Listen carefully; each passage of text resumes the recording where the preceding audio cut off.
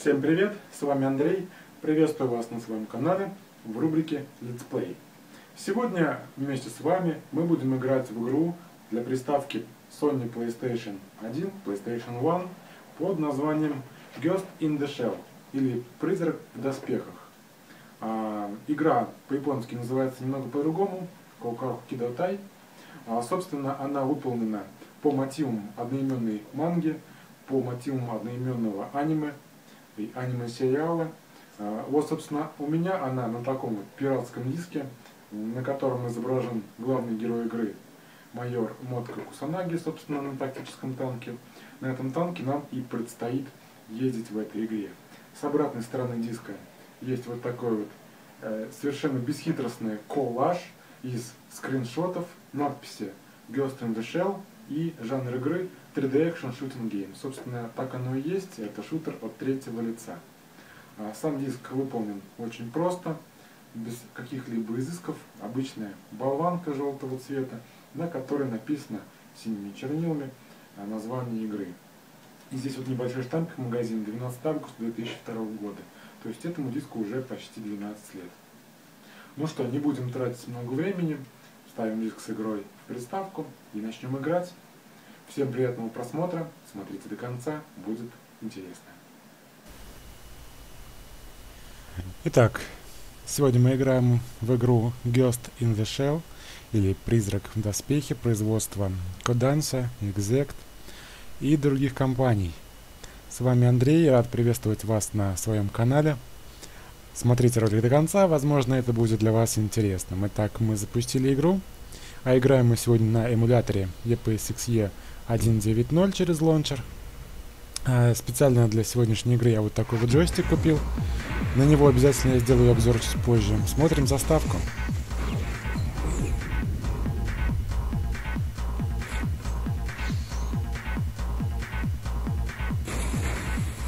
Можно уже было заметить, эта игра выполнена по мотивам манги а, Масамуна Широ. Главным образом а также частично по мотивам аниме и аниме-сериала Коукаку Кидотай, то есть «Призрак в доспехах», или а, мобильная команда по предотвращению кражи э, оболочки, соответственно, Маморо Оси. Ну, игра сделана немножечко в другом стиле, чем аниме, потому что аниме достаточно жестокий киберпанк, а игра выполнена вот в таком вот мультяшном, анимешном, кавайном стиле.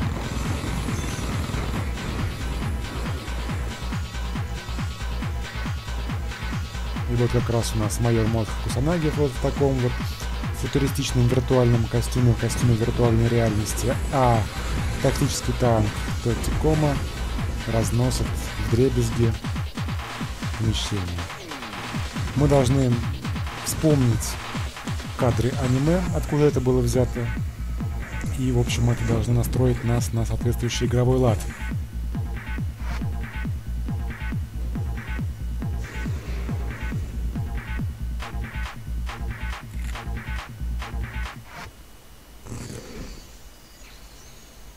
Итак, заставочный ролик закончился, и мы переходим в главное меню. А, извините, если игра немножко подтормаживает, все-таки компьютер у меня не первой свежести. Играю я через эмулятор, соответственно, э, здесь э, требуются достаточно высокие ресурсы. В главном меню у нас ничего выбирать, выбираем Mission Start, чтобы не затягивать наш сегодняшний Let's Play. Итак, смотрим заставочку, также сделано в анимешном стиле которым Бато, напарник Мот Кусанаги, спускается на палубу авианосца, где уже заседает наш тактический девятый отдел, и просматриваем вводную тактическую информацию. Я вот не помню, честно говоря, вот этого лысого мужика, но, возможно, он в аниме был, может быть, я просто не помню. А, речь идет на японском языке, игра выполнена на японском языке. Ну вот они рассматривают о том, что террористы захватили сектор, который необходимо защитить. Как они это будут делать? Будут они это делать с помощью тактического танка, а мы помним, что такой танк обладает искусственным интеллектом. Каждый танк имеет свои особенности. А, каждый вечер эти танки синхронизируются между собой. Несмотря на то, что это, в общем-то, роботы, они обладают своим характером. Вот, например.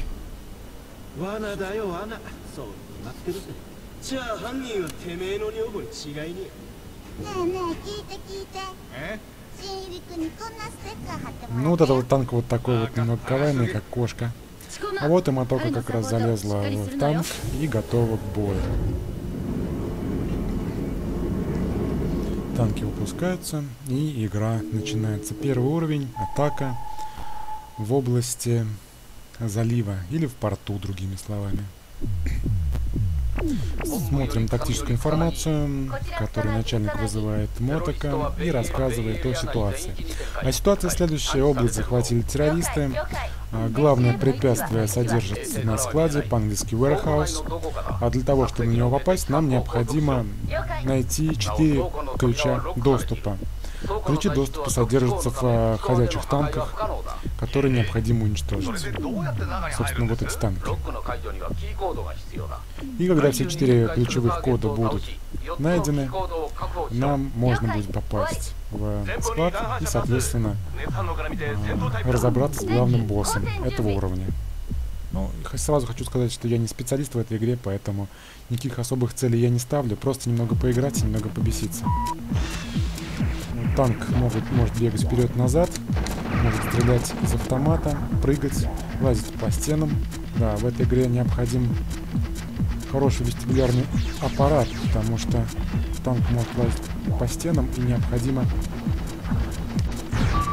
вот первый враг уничтожен. Необходимо обладать хорошей ориентацией в пространстве для того, чтобы не потеряться. Правом нижнем углу у нас содержится информация об энергии, силе щита, всевозможные танки и также радар. А с помощью радара мы можем искать ключевые какие-либо.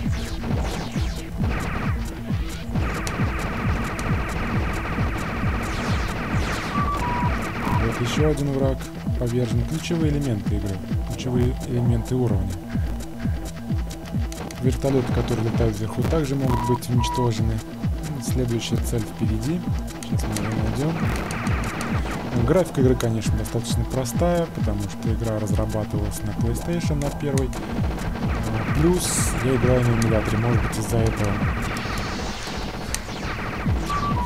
Так, нас немного поранили, пойдемте поищем лекарства. Осталось последний ключ. И уровень будет завершен. Ну, не полностью, конечно, нам еще нужно будет уничтожить врага. Кстати, если кто смотрит видео в правом верхнем углу с веб-камеры, то вы, наверное, заметили, что я постригся, как вам моя новая причесочка. А вот и последняя цель. Все, все ключевые элементы мы нашли. И теперь мы можем продвигаться, соответственно, в на склад, где нас уже поджидает босс. Хотел просто найти гранат, чтобы проще было разобраться с финальным боссом. Нашел лекарство, вот там гранаты лежат. Так, все, следуем по стрелке и проходим этот уровень. Босс меня, конечно, пугает, потому что я в эту игру играл не так много. Мне кажется, он достаточно сложным. Ну, посмотрим, посмотрим, что выйдет из этого. Ага, вот и босс. Здесь нам необходимо будет быстро перемещаться в разные стороны, перепрыгивать через него. По-моему, он сейчас в щите. Видите, он так мигает.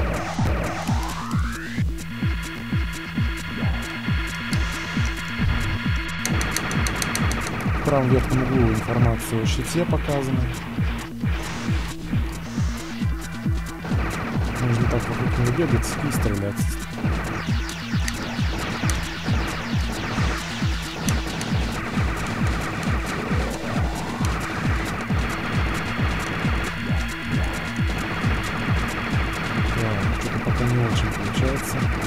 Полетели. Когда становится страшно, можно залезть на стену или на потолок. Ё-моё, что-то мне страшно стало.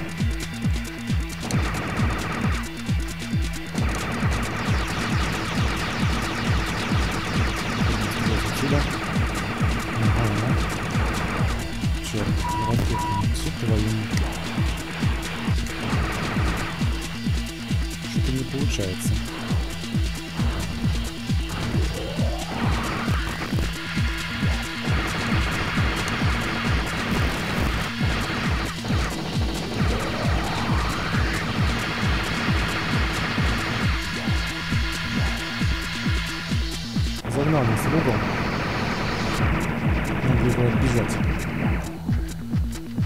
Побежали, побежали, побежали. Так, побежали. Что-то я напрягся, честно говоря. Не ожидал, что он окажется таким сложным.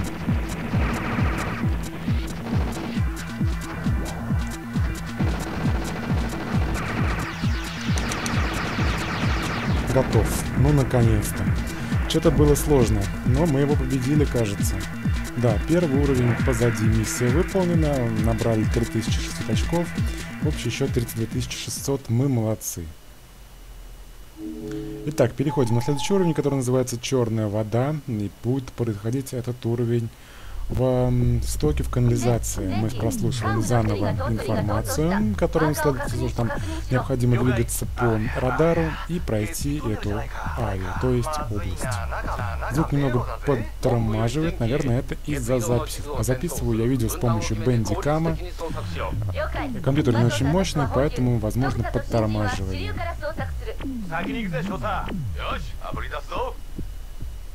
Итак, вперед.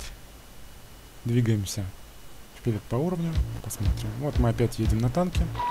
Собственно, вот этот уровень мне больше напоминает игру под названием Descent, если кто-нибудь помнит. Там необходимо было двигаться на корабле и лететь по базе, внутри базы, по вот таким вот коридорам. Ну, понятно, почему здесь коридоры, потому что мощности приставки не хватает для того, чтобы изображать большие пространства.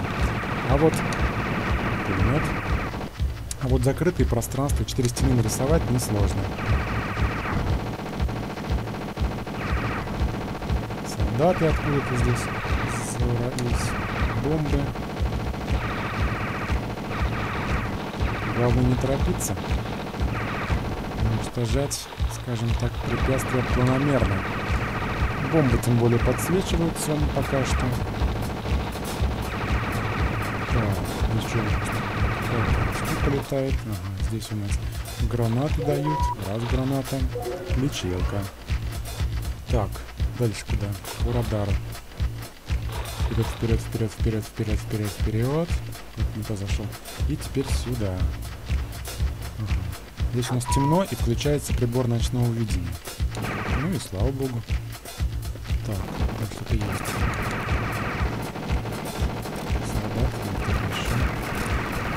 Так или иначе уничтожен. Так, здесь нам нужно направо. Это стрелочка в правом верхнем углу, а может быть я просто закрываю ее своим, скажем так, лицом. И поэтому вы не видите, что там стрелочка показывает. Так, подорвался немножко, но это не страшно.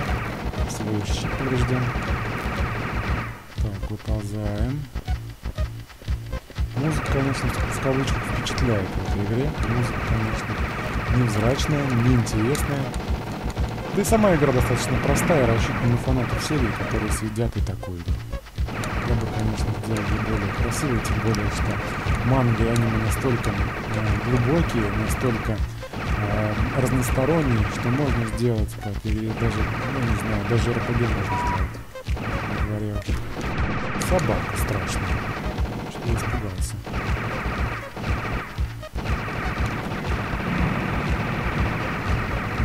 Пулемет, который стреляет почему-то в стену. Так, вот дальше. Пушечка. Мины. Мины. Лечилка. Energy Pack. То есть... Еще один Energy Pack. Идет там.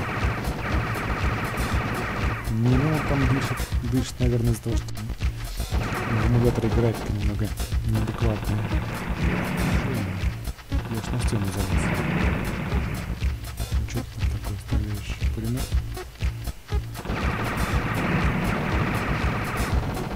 Хорошо, что патроны не кончаются.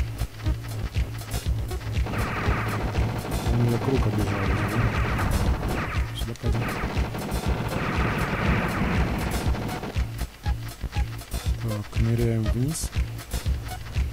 И заканчиваем уровень, переходим к боссу. Вот этого босса я не обещаю, что я вам убью. Возможно, это будет самая короткая игра.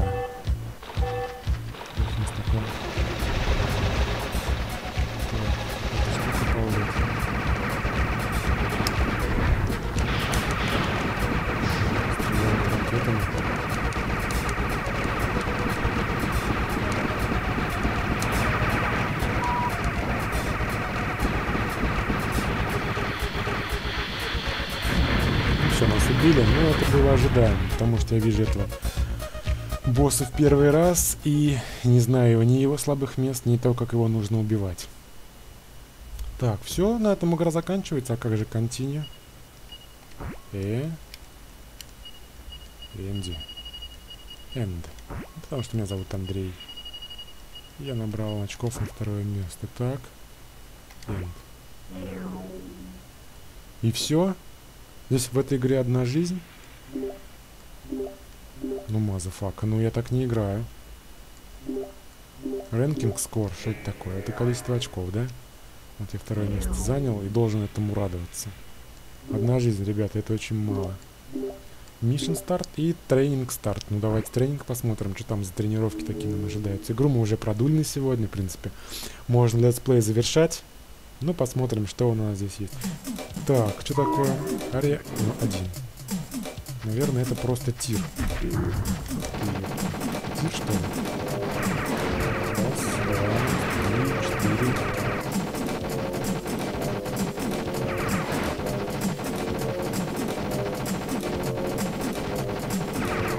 Еще 11 целей, как мне пишет в правом верхнем углу, 10.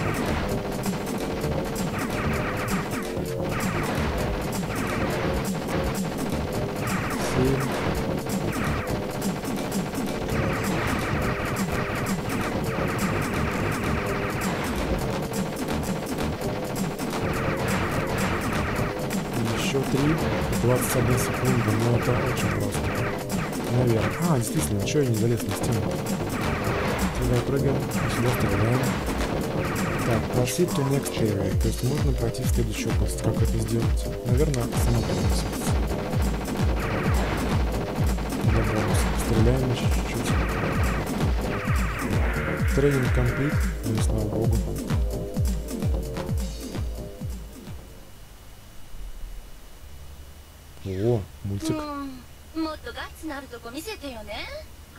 Да, было бы на что смотреть, говорит нам майор Кусанаги, но я не знаю, чем тебе не нравится. Все, на этом закончилось. Ну и бог с ним. Тоже наберем наш ник. И закончим на этом. Ну что я могу в целом сказать? Игра достаточно простая, если не сказать убогая. А, эксплуатируется известный лейбл. Это манга Ghost in the Shell от Масамуна Шеру и Kodansha. Sony Computer Entertainment, конечно, использовала этот торговую марку для того, чтобы сделать вот такую игру, которая достойна выпуска, на мой взгляд, только на пиратских дисках.